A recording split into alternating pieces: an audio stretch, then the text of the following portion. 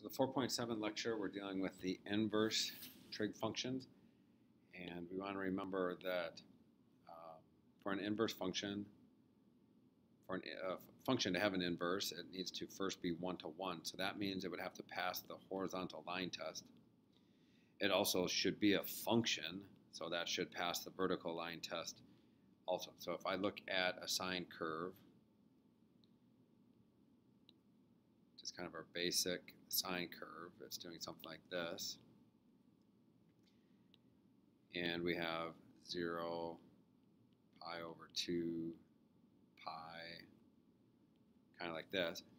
Uh, it definitely would not pass the horizontal line test. The horizontal line would hit twice, so it does not have an inverse.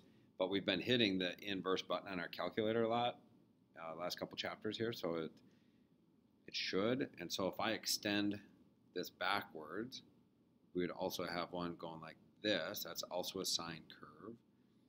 And this would be negative pi over 2, and this would be negative pi. So what we're going to do is we're going to highlight, um, I'm going to go from here to here. So we're going to do this little shape right here. If we restrict the domain from negative pi over 2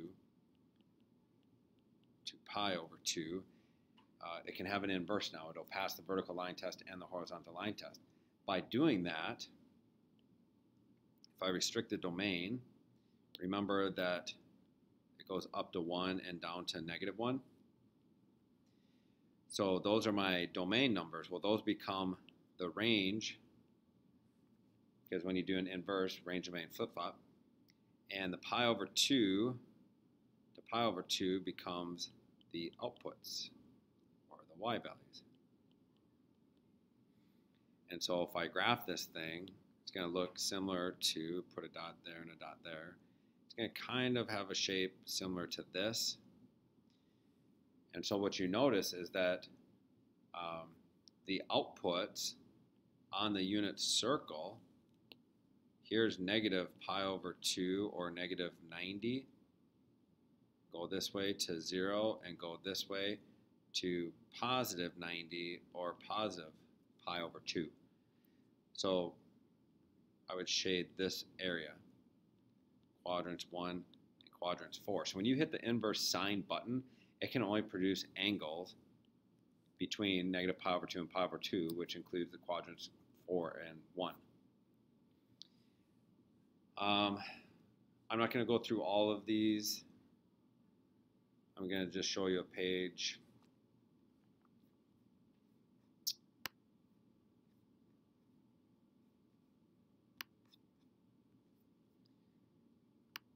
So you can see here with the cosine curve, if we just concern ourselves with this part of the curve, restrict it from 0 to pi, that is the input. And so then um, 0 to pi becomes our outputs. So uh, only the top half of the circle. And the same thing happens for tangent here.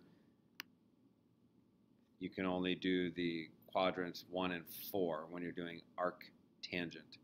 It all has to do with restricted domain. We just want to do 1s right here that goes from negative pi over 2 to pi over 2. So when you flip it, that becomes your output. Uh,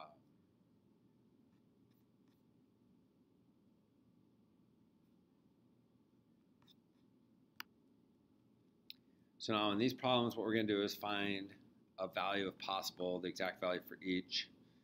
Uh, so we should recognize negative 1 half. And what this is asking is what angle produces negative 1 half. So I come over here, to my unit circle. Here's where sine is negative 1 half, and here's where sine is negative 1 half. But remember, arc sine only produces answers in quadrants 1 or 4. So it's going to produce this angle. Now, if you type it into your calculator, you're not getting 330 because remember it goes from negative 90 to 0. So this is negative 30. Negative 30 degrees or negative pi over 6. You can do either one. Again, when you're working with inverse sine, it only produces answers in quadrants 1 and quadrants 4. So go over to the unit circle again. We're looking for root 3 over 2. What angle produces root 3 over 2? Well, my sine is root 3 over 2 right here. It's also root 3 over 2 right here. and so it's going to give me 60 degrees. Can't produce this one. It's going to give me this one.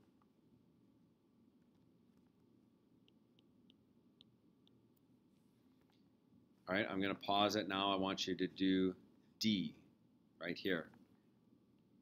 Do D and come back and look at the answer. Pause now. Your answer is negative pi over 3. So remember how this works. We're looking for negative root 3 over 2. So the second number is negative root 3 over 2 down here at 240 and down here at 300 only in quadrants one or four. Arcsine only produces answers over here. So it's really this location, but negative 90 to zero is how we restricted the domain and range on the very beginning. So this is really negative 60.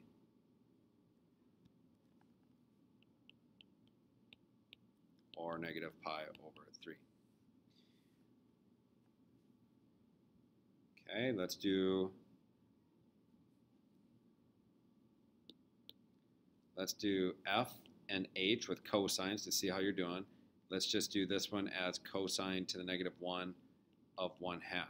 Now one thing I forgot to mention is that arc, cosine, and cosine to the inverse mean the same thing. It's easier when people type to type arc cosine. It's just quicker. To try to do the superscript notation is a little bit longer. So sometimes we use cosine to the negative 1, sometimes we use arc cosine, same thing. So find Find these two values and check your answer. So pause the video now. Okay, so arc cosine root 2 over 2. Uh, only pi over 4 there. So how is that working? If I go over to the unit circle, cosine is root 2 over 2 here. It's also root 2 over 2 right here. So 315 degrees, or 45 degrees. Well, arc cosine only produces answers in the top half of the circle.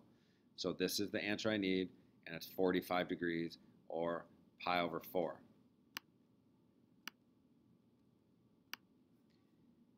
One half, we said. So again, where's your cosine? One half.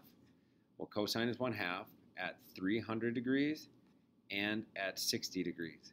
Right there, the first number in the order pair but arc cosine only produces answers up here. So it's going to kick out the 60 or pi over 3.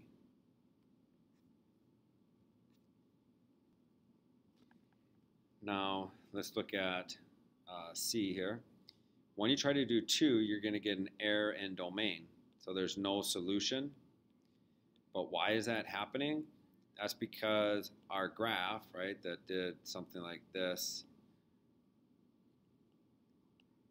the outputs were between uh, negative 1 and 1. So now when I did the inverse, so the inverse sine, the domain goes from negative 1 to 1, and 2 is clearly outside negative 1 to 1, so you can't use it. And the same thing happens with root 3. So for instance, if I go to my calculator and I try to do uh, inverse cosine of the square root. It's an error domain. It tells me that it's outside of the range.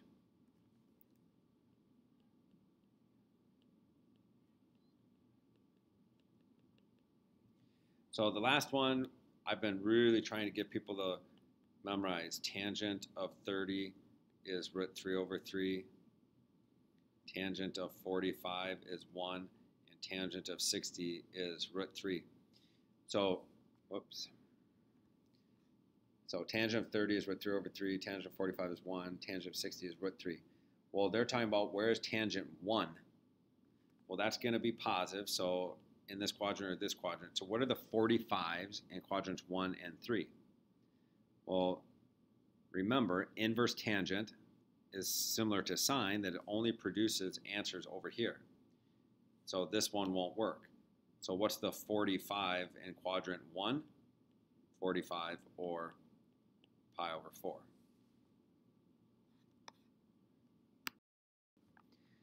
All right, for these four, um, just type them into your calculator. Let's just also, let's set our calculator to radian, radian mode. So type these into radians and then come back and see what the answers are. Pause it now. So if you round off to four decimals, these are the four answers. Again, arc cosine of 2, that's going to be more than 1, so that won't fit the domain, and then 1.9.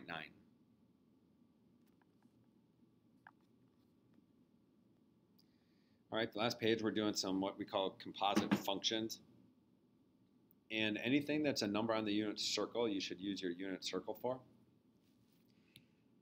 So if you want to have one handy or make one quick, do so. But I'm first going to start by finding the sine of 5 pi over 3. So on the unit circle, 5 pi over 3 is right here. Sine is the second number, so I'm going to write down negative root 3 over 2.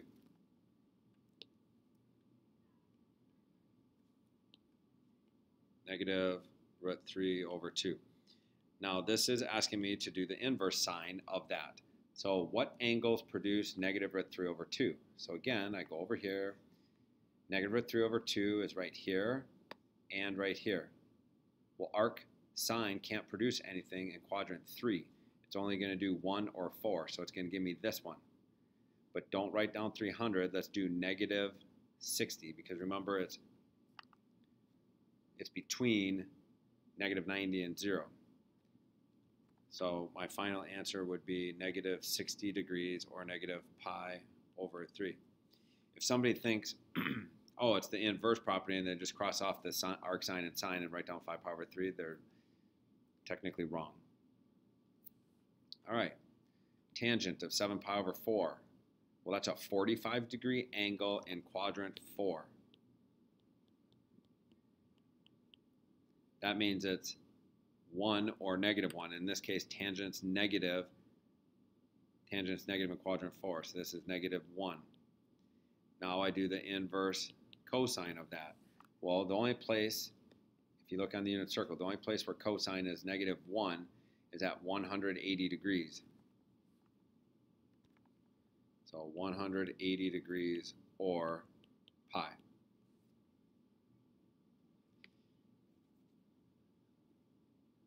I'm going to now have you do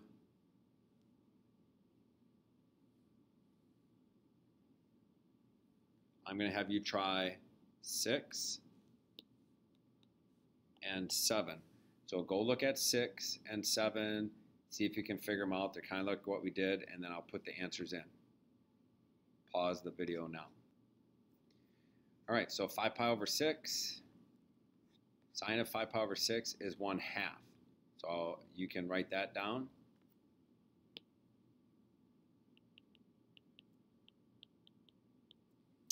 Now, what angle produces 1 half for your sine? So again, go back to your circle. It's 1 half here, and it's 1 half here. Well, which one can arcsine produce? Arc sine only produces answers over here on the right-hand side, so it must be 30 degrees. Or pi over 6. So now I'm going to do tangent of negative 4 pi over 3. So hopefully you caught that. Remember, 4 pi over 3 is 240 degrees, but we're going negative. So I start at 0, or the 360, and I go backwards 180 and another 60. So I go backwards 240 degrees. This is where I land. What is the tangent here? You could do sine over cosine, or know that it's negative root 3 in the second quadrant there, and it's a 60. Remember, this will be a quadrant to 60 degree angle. Now you do the inverse tangent. Well, I know that root 3's are 60 degrees. So this is telling me that I have a 60 in quadrant 2 or in quadrant 4 because that's where tangent's negative. Negative root 3. So which one can arcsine produce? Or arctangent, I mean. Arctangent only produces answers in 1 and 4. So what's this 60 in quadrant 4? Well, we're just going to go backwards 60. So let's call it negative 60 degrees or negative pi over 3. In the location of 300, but we call it negative 60 or negative pi over 3. All right, so how about this one? If I do uh, example 3, where is your sine negative root 3 over 2? So again, sine is negative root 3 over 2 down here and down here. Which one will arcsine produce? Only this one, because we're in quadrants 1 or 4. So I instead of 300, I would say negative 60. Well, now it's reading if the co what's the cosine of negative 60. So you go back to that location right here. This is negative 60. So we're right here. My cosine is 1 half. And you could type that into your calculator right now and verify that you get 1 half. The last two problems, a little bit different, and that's because the numbers that you see here, like 2 thirds and negative 3 fifths, those are not numbers that would be on the unit circle. So we're going to have to do something a little different. So first, where does arc cosine produce answers? Well, arc cosine produces answers in the top two quadrants. So I may draw my triangle in one of those quadrants. Then this whole thing right there, that can be set equal to y. So cosine inverse of 2 thirds. If I cosine on both sides here, I get y is equal to, uh, sorry, cosine both sides, I get cosine of y is equal to 2 thirds. Now, the other question I'm going to answer is right here. Where is cosine positive? Well, cosine is the x, so it's positive on the right-hand side of the graph. So I'm going to draw a triangle out from the origin vertically to my x-axis. I'm going to call this angle y. Cosine is adjacent to hypotenuse 3. If the adjacent is 2 and the hypotenuse is 3, I square them both. And then I say 9 minus 4 is 5. So my missing side is the square root of 5, just using the simple Pythagorean theorem. Now at the end of this problem, we can go ahead and answer the question, what is the tangent? Now remember, this whole thing right here is y, so I'm going to replace it. What is the tangent of y? And I just use my triangle. Opposite over adjacent. So root 5 over 2. If you want a chance to do uh, example 5 on your own, do so. Pause it now. Otherwise, I'm going to go through it. So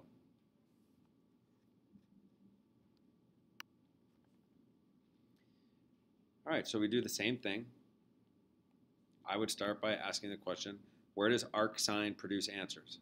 1 and 4. Then I set it equal to a variable.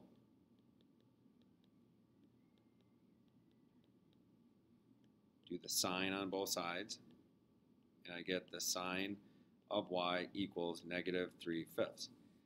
So the second question is, where is sine negative? Well, sine is negative down in the bottom because it's your y value. So I'm going to draw a triangle in quadrant 4. Call it y. Sine is the opposite over hypotenuse. Now look at your drawings because sometimes you can mess things up, but there's a negative sign. And I'm going to assign the negative to the side going down. The hypotenuse is always positive. And then hopefully you notice this is what we call a 3, 4, 5 triangle. 5 squared is 25, negative 3 squared is 9, and 25 minus 9 is 16, and the square root of 16 is 4. So my missing side was 4. So the final question is, right here, what's the cosine of that triangle? And the adjacent over hypotenuse is our answer.